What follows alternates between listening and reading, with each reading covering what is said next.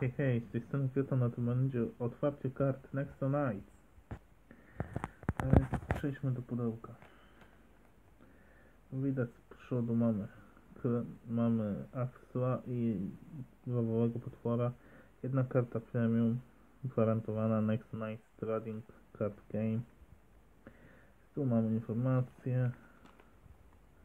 5 kart kolekcjonerskich z pierwszej kolekcji 180 kart postaciami Lego Next Night.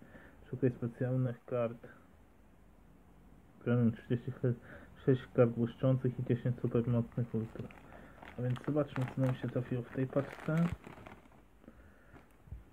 Tak mamy Ultra Wilperle. O, mamy. Co mamy? Rycerz, zostanie bohaterskim rycerzem Next Night, jakąś reklamę.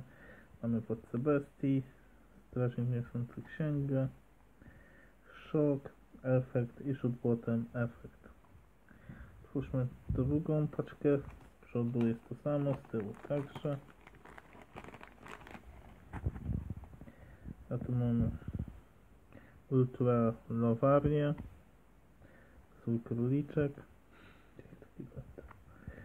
Bot lekarz, efekt upadek, hamulc indyka. Ciekawe czy fajnie się nosi hamulc indyka. Także zostanie rycerzem.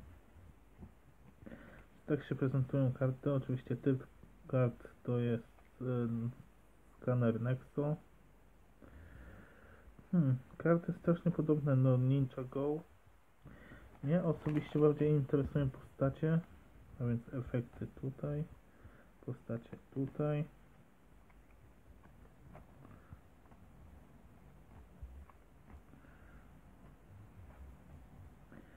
Tak, oczywiście karty zawierają szybkość, obrona, atak i moc.